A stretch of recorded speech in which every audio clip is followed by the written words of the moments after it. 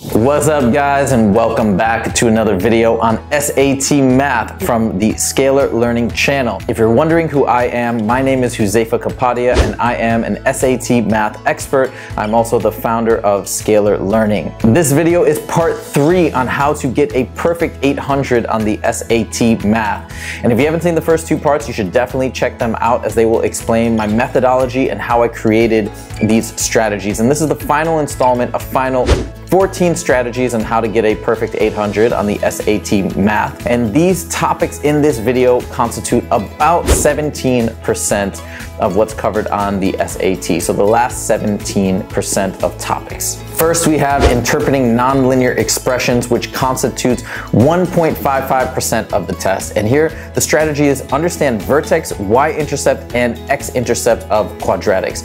So it's just a, it's a good idea to wrap your mind around what all of these three key elements mean to a quadratic or a real life situation that a quadratic function is modeling. For example, my vertex is usually going to be either my low point or my high point, right? If we, depending on the nature of the graph, and in this case, because that A term is negative, the vertex is gonna be a max point, a maximum height, okay? The x-intercepts are going to be, since this is modeling a trajectory, we wanna think about the x-axis as like the ground, so the x-intercepts are going to be when it's gonna hit that ground. And then last but not least, that y-intercept is, is going to be a lot of times that actual real starting position because usually the y-intercept means time zero. This is where it starts, okay? Uh, and we can find all these values pretty nicely. For example, we can find the vertex by using our nice formula of x equals negative b over 2a, if we need that, right? Uh, and, and, then we plug that in, we can get the y value of the vertex. We can get our x-intercepts by factoring and finding when the whole equation goes to zero. But in this case, the one that I want to focus on, which is relevant here, is how to get our y-intercept. And when it's in this nice standard form, the beauty is that the y-intercept is pretty easy to spot because the y-intercept occurs when x equals zero. So when we plug in a zero, uh, in this case it's t, but that is our x normally, those two zero out and go away, which means that our y-intercept is right there for us in standard form, which is 72. Okay, now let's take a look at this problem. It says the function above again models the height uh, in, in, of an object off the ground t seconds after being launched into the air. What does the number 72 represent in the function? Now, if we know that that's our y-intercept, right, straight away, we know that, you know, that constants our y-intercept, so therefore that must be our starting point. Y-intercept is always our initial value or starting point. So we can go straight to the initial height in feet of the object. Maximum height, again, that would be Uh, a, a vertex value. The initial speed, now that would that would make sense if this was a speed function, but it's a it's a height function, so that doesn't make sense. And then uh, again, maximum, that is out as well because that would refer to a vertex. Now we come to the next topic, which is operations with rational expressions, which also constitutes 1.55% of the test. And in this case, the strategy is no polynomial long division, okay? So these problems are pretty interesting because again, it's one of these, hey, which of the following expression is equivalent to this? There are actually multiple ways to solve this problem, but if you remember now, when you see something like this, which is really the top uh, polynomial divided by the bottom one, you can say, well, this is a polynomial long division problem. Again, there are other ways to figure out if these are equivalent. But if you if your mind goes to that place and you say, wait, wait a minute, I can just divide and, and see what the remainder is and all that, and I'll get my answer, it's become so much easier. So I'm gonna show you how to divide this, for example, if you if you need a refresh. So I'll throw in the x squared minus 2x minus 5 like this and just like our normal division symbol, and then we got x minus 3 on the outside. Then we say, we just look at this first term. How? What do I need to multiply this x by to get that x squared? That's all we care about. I'm gonna multiply it by x, right? And then I get x squared minus 3x because it kind of distributes to both of them. Then we subtract by negating both of these guys. These cancel out.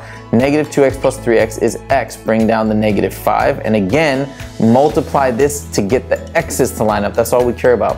So that would just be a positive 1, right? Now I get that to be x minus 3 negate, negate, cancel out. Negative 5 plus 3 is negative 2, and that's our remainder. So our final answer is that x plus 1, and then it's minus, because it's a negative, 2 over whatever is the divisor. That's what we always throw our remainder on top of the divisor, and the answer is D. Next, we come to data collection and conclusions, which constitute 1.55% of the test. And here, the strategy is that the sampling must be random. So they love to ask about uh, possible sampling procedures, and then you gotta be really insightful and think, wait a minute, was there a bias in the way that the sample was collected? So let's look at this one. It says, to determine the mean number of children per household in a community, Tabitha surveyed 20 families at a playground. So let's stop right there because they don't say it's a random survey. They're already giving some premise to where the sampling occurred and it occurred at a playground, which is kind of interesting.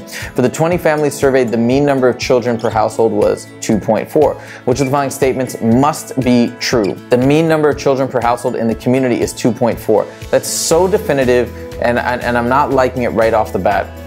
And that's too big of a conclusion to draw at this point. We could say maybe, maybe even at best, maybe. Uh, but we haven't even addressed the issue of how the sample was taken. Next, a determination about the mean number of children per household in the community should not be made because the sample size is too small. Usually the size of the sample is never the answer on the SAT, at least I haven't seen it yet. Uh, because, I mean, we can have various samples and you just have to take that with a grain of salt and you, you take what you can get. But that's, that's not going to be valid. The sampling method is flawed and may produce a biased estimate of children per household household in the community. I'm gonna agree with this. Now, here's the key reason why. Think about it logically. If you're sample, if you're taking your sample at a playground, you're already biasing towards families, people that have kids, right? It, it, nobody's gonna go to a playground if they don't have kids. So that's the problem. That's the inherent issue with this type of sampling method, which is why it's flawed. It's going to lead to a biased result. Last, the sampling method is not flawed and is likely to produce an unbiased estimate of the mean number of children per household in the community. And of course, that's that's got to be wrong if C is right. Next, we have volume word problems, which constitutes 1.55% of the test. And in this one, the strategy is nowhere to find the volume formulas. That's it. Not just volume formulas, area formulas. You gotta know what's on this test and what's available to you so you don't stress yourself out and trying to memorize things that you don't need to memorize, but you know exactly where to go when you need one of these formulas. So if you check this out right here, uh, this is a cylinder problem. It says the dairy farmer uses a storage silo that is in the shape of a right circular cylinder. If the volume is 72 pi, what is the diameter? Okay, once I know that, and by the way, this is in the front section of both the, the no calculator and calculator section of the test. Once I know where to go and where to flip back to, hey, check it out. There's my volume formula for a cylinder. Volume equals pi r squared h where r is the radius. Now we just plug and chug, right? We've got, we know the volume is 72 pi, the equals pi times the radius, which is unknown, I'll keep it as r squared, and we know the height is 8. Now I'm gonna eliminate the pi's, I'm gonna divide both sides by 8, and we get 9 equals r squared. Now to get r, I take the square root, square root, and r equals positive 3. That is the radius, but they want the diameter. So we double it and we get a diameter of 6. And that is it. Next on the list is right triangle trigonometry, which also makes up 1.55% of the test. And here the tip is remember this rule. Sine of x equals cosine of 90 minus x. What is that saying? That is saying that sine of an angle equals cosine of the complement of that angle. So for example, uh, sine of 30 equals cosine of 60. Sine of 10 equals cosine of 80. They always ask about this on the test. Almost every test, maybe one little question will be thrown in there, but, but it's really useful. So when they say that in a right triangle, one angle measures x, sine of x equals 4 fifths, cosine of 90 minus x, cosine of the complement, what does that equal? Equals the exact same thing, and you're done. Next, we have circle theorems, which again makes up 1.55% of the test. And here the strategy is to draw triangles in these circles. So what am I talking about? Let's take a look. It says in the xy plane above the circle of center HK and the radius is 10. What is the value of K? What is the Y value of that center? Okay. This is a really hard problem if you just sit there and think about it. But if you start to draw in, of course, draw in these radii, look what happens you get these kind of interesting triangles that form. But not only that, that's, that's like an okay triangle, but really if we can draw another line and make a nice right triangle, something really interesting happens.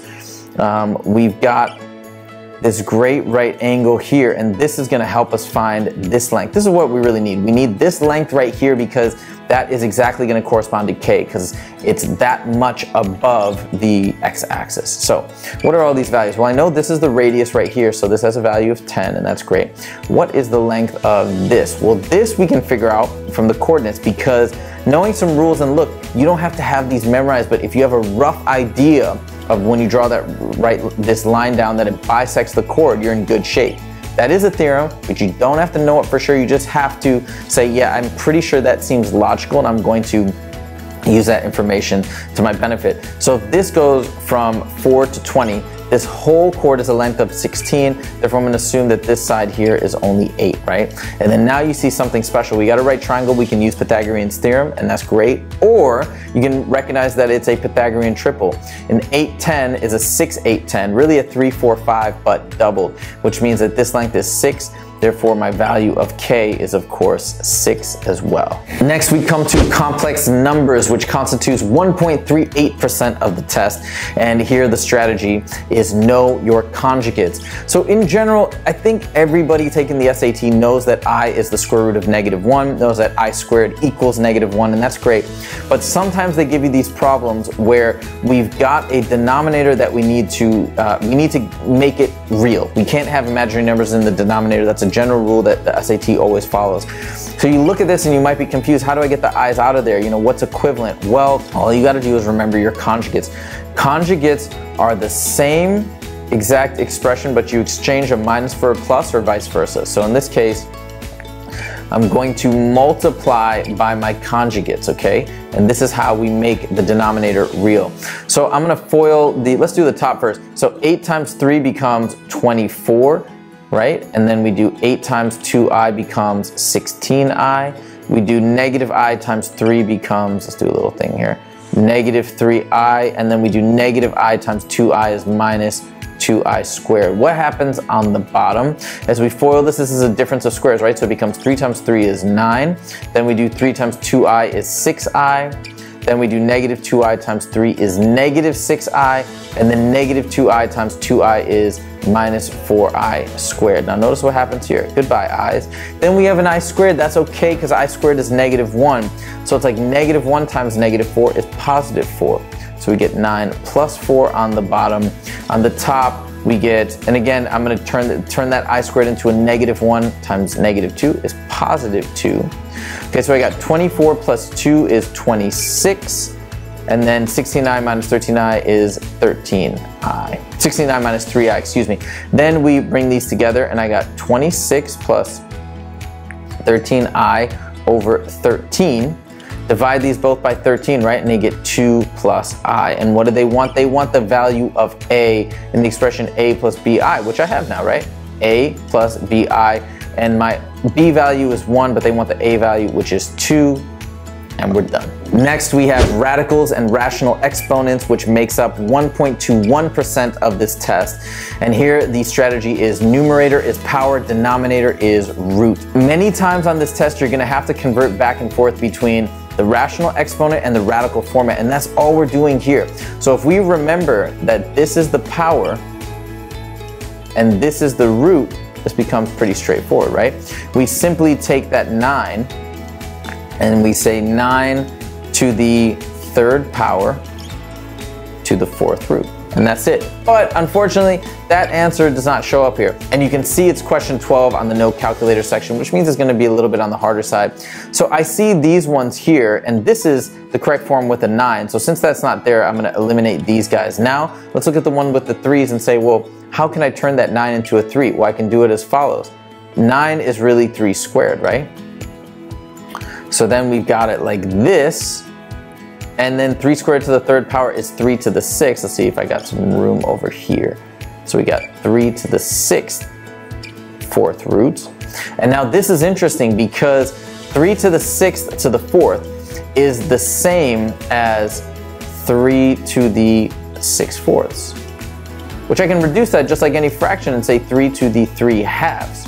Now let's put it back into the, into the radical format.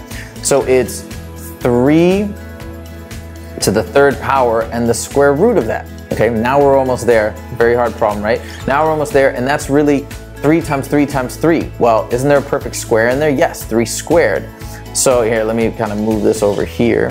It's a little, getting a little cluttered, but this happens sometimes. So it's really 3 squared times 3, that's 3 cubed. And the square root of 3 squared is just 3, and we're left with 3 radical 3, which is D.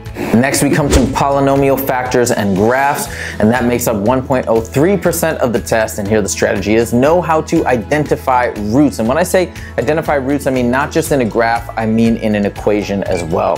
So first of all, it says which of the following could be the, the equation of the graph above, and this is all about the roots. Where are the roots on the graph? They occur at negative 3, 0, and 2. Okay, so now I know I'm gonna see these numbers in the equation somewhere, but we gotta recognize that they're going to be flipped, meaning the signs are gonna be opposite. So when I see a root of negative three, I should see a positive three like I do right here. When I see a positive two, I should see a negative two like I do right here.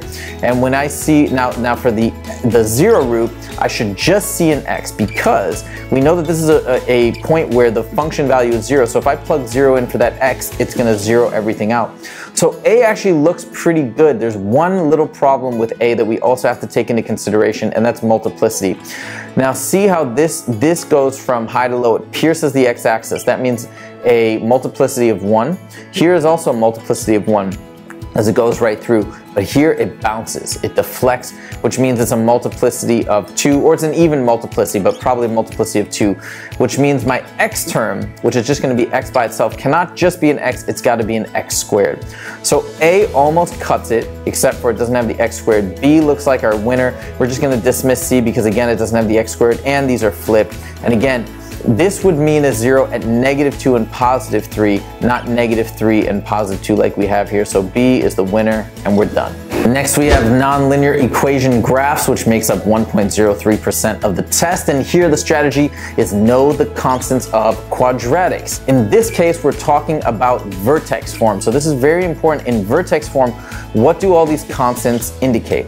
All right, so I just want you to recognize that this term right here, really it's a it's it's about a stretch, but in terms of positive or negative, it indicates whether it goes up or goes down. When it's negative, it opens down. It's positive, it opens up.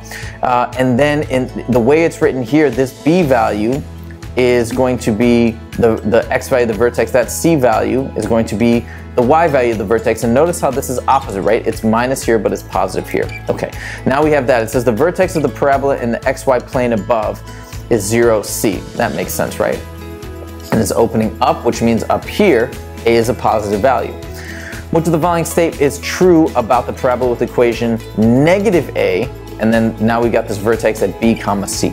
All right, so the vertex is b comma c, I agree with that, but it says it opens upward. Well, I would agree with that except for a here is positive and here it's clearly negative, which means that this parabola is gonna open downwards. So these are both out, the upwards. And since the vertex is BC and it opens downward. That's exactly what we predicted. I will go with that.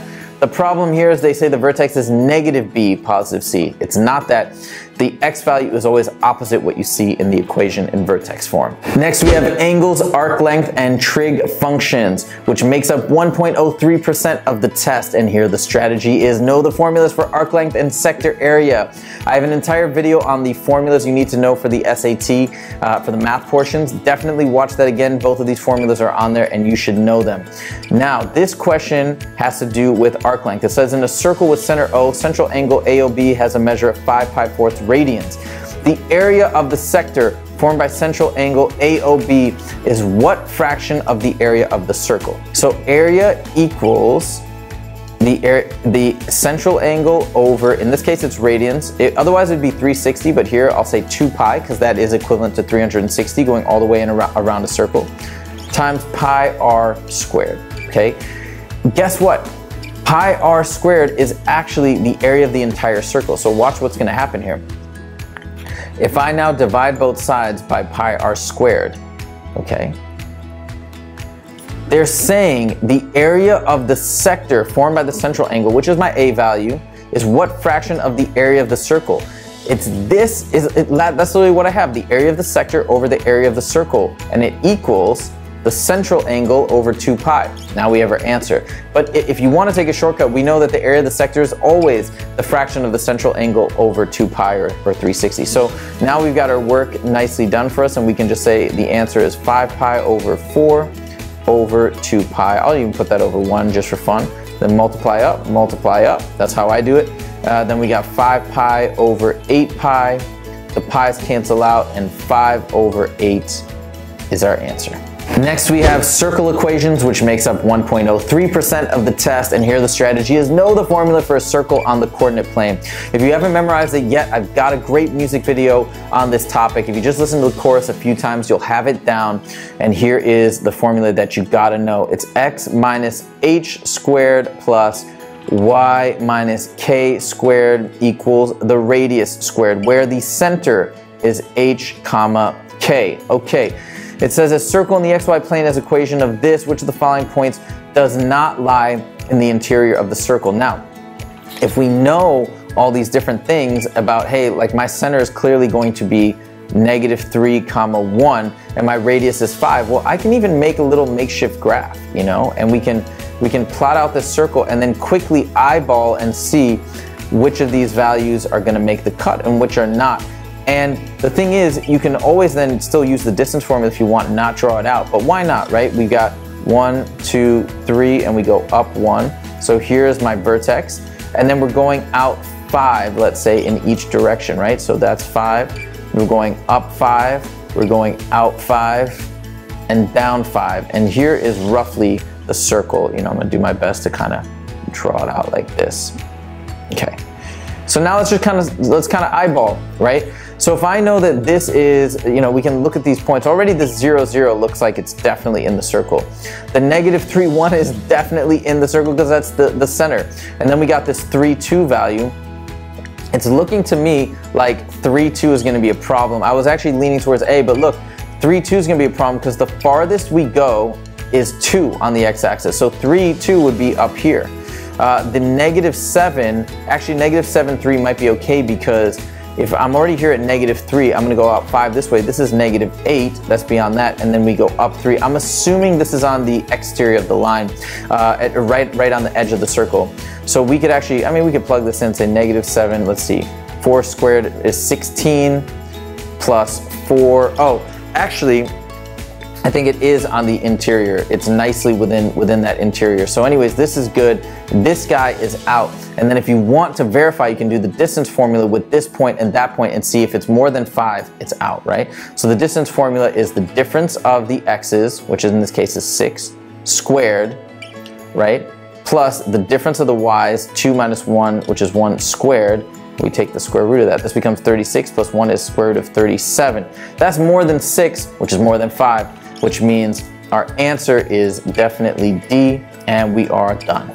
Next on the list is data inferences, which constitutes only 0.52% of the test. And here the strategy is pay attention to the sample. So let's read this question. It says, a study was done on the weights of different types of fish in a pond. A random sample, that sounds good, of fish were caught and marked in order to ensure that none were weighed more than once. The sample contained 150 largemouth bass. Now notice right there, that's our sample. It's largemouth bass, that's it. Of which 30% weighed more than two pounds. Which of the following conclusions can be made? The majority of all fish in the pond weigh less than two pounds. That makes no sense. First of all, we're only talking about largemouth bass. We don't know, there probably is more fish than largemouth bass. This is just largemouth bass that were caught.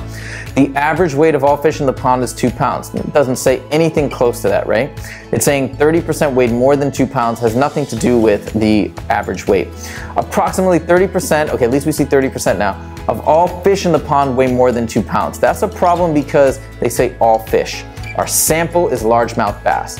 Uh, it's got to be D, but it says approximately 30% of all largemouth bass in the pond weigh more than two pounds. That targets the sample. That makes sense logically, so D is our answer, and we're done. Last but not least, we come to the category of right triangle word problems, which makes up a small 0.17%. But this strategy applies to a lot of other components and general ideas going forward for triangle problems, which is to memorize SOHCAHTOA. SOHCAHTOA helps you so much on this test it, whenever trigonometry comes up, so I definitely recommend uh, memorizing it. And it stands for sine equals opposite over hypotenuse, cosine equals adjacent over hypotenuse, and tangent equals opposite over adjacent. So in the figure above, triangle ABC is similar to triangle DEF. That means that sine, cosine, and tangent of B will equal sine, cosine, and tangent of E. A, same with A, same, and, and D, same with C and F. Those are the corresponding angles. So it says in the figure, triangle ABC is similar. What is the value of cosine of E? Well, I don't have any values for this triangle, I know cosine of E is the same as cosine of B. What is cosine of B? Again, it's adjacent over hypotenuse. Adjacent, which is next to it, over hypotenuse, which is the big dog. So it's 12 over 13, which is B, and we are done. That is it for the final 14 strategies on how to get a perfect 800 on your SAT math. Thank you guys so much for checking this video out. And if you haven't seen the first two parts, definitely watch those. Those are super important. And I wish you the best of luck in your SAT math journey. Thank you so much, and I will see you in the next video. Take it easy.